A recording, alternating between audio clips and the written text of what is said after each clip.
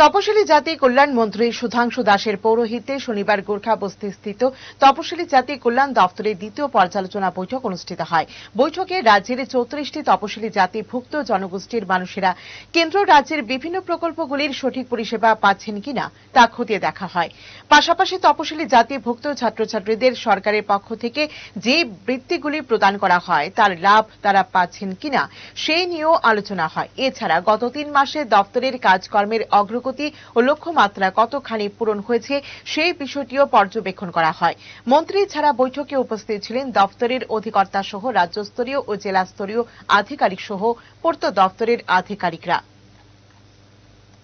এই review meeting এর মূল যেটা উদ্দেশ্য এস ওয়েলফেয়ার ডিপার্টমেন্ট ত্রিপুরা রাজ্যে তপশিলি জাতি মানুষদের জন্য যে সমস্ত প্রকল্প বা স্কিমগুলি নিয়ে এসেছে সেগুলির বাস্তবায়ন কতটুকু হয়েছে? আমরা সেন্ট্রাল গভর্নমেন্টের যেগুলি প্রজেক্ট বা স্কিম আছে, সেগুলি আমরা ইমপ্লিমেন্ট কতটুকু করতে পারলাম?